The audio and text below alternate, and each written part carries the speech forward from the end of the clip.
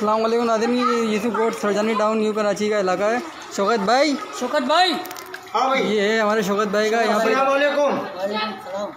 थोड़ा बाहर आ जाए देखें पानी घर के अंदर। थोड़ा बाहर आए अंधेरा हो रहा है। सही है। सही है। जी। भाई ये देख लें अशर तीन बच्चे मेरे माजूर हैं। देखिए मेरे घर की हालत। ये सेवरेज का निज़ाम है आज अगर सेवरेज सही होती तो ये नहीं होता। आए देखें। ये अंदर सारा सामान इसका अशर आके देखें। हम लोग गरीब लोग हैं। अशर आके देखें। ये घर की हालत आके देखें। ये देखें चार से पाँच फुट पानी घर के अंदर। ये सारा देखें। तबाह हो गया इनका?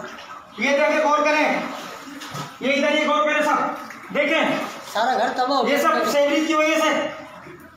अगर सेवरेज का निज़ाम सही होता है हमारी हुकूमत।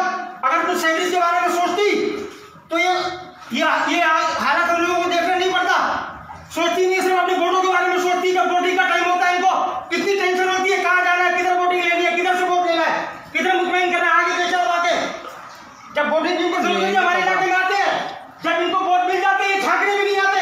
क्योंकि इनका मकसद पूरा हो जाता है। इनको मौका मिल जाता है अपना पेट भरने का असर देखें आप। ये सामान इनका? ये देखें। ये चार से पाँच लाख रुपए का सामान है ये देखें। ये देखें ज़िंदगी भर की कमाई है आप गौर करें। ये ज़िंदगी भर की कमाई है ज़िंदगी भर की पूंजी है।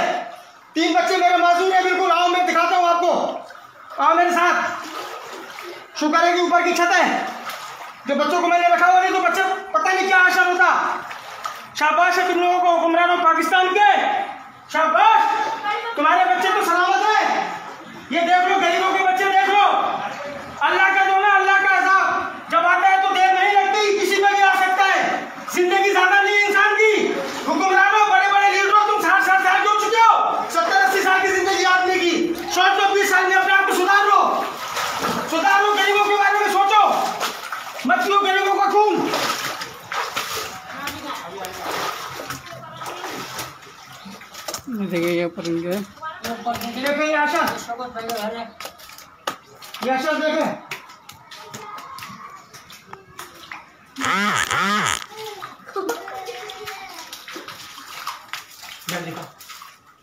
ये ये बड़ा बेटा पंद्रह साल का ज़िंदा लाश है देखें। और उसको गौर से देखें। उसको ये भी नहीं पता कि कौन सी दुनिया है अगर ये पानी में आ जाता तो मैं क्या करता क्या करता मैं देखो गौर से ये अगर नीचे होता ऊपर की मेरे पास जगह नहीं होती तो मैं क्या करता ये बच्ची दस साल की है इसको देखें आप इसको देखें पानी भी नहीं पीने के लिए एक बच्चा झूले में पड़ा है। आओ। इसको देखें। ये पंद्रह साल का बच्चा है, ये दस साल की है, ये नौ साल का बच्चा है। देखें।